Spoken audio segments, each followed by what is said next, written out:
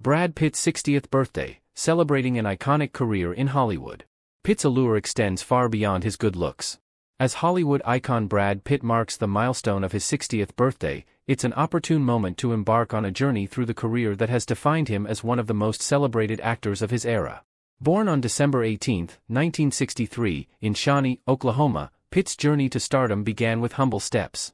His early days in Hollywood saw him take on small television roles, gradually building toward breakthrough moments in films such as Thelma and Louise and A River Runs Through It, where his talent and charisma caught the industry's attention. What distinguishes Pitt from his peers is not just his striking looks but his chameleon-like ability to immerse himself in a diverse array of roles. From the enigmatic Tyler Durden in Fight Club, 1999, to the emotional depth of The Curious Case of Benjamin Button, 2008, his performances have showcased an extraordinary range, solidifying his status as a true acting powerhouse.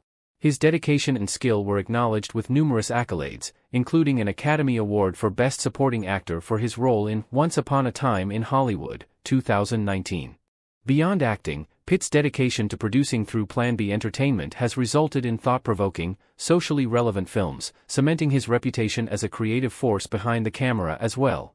While Pitt's on-screen achievements are undeniably remarkable, his personal life has often been under the relentless glare of the media.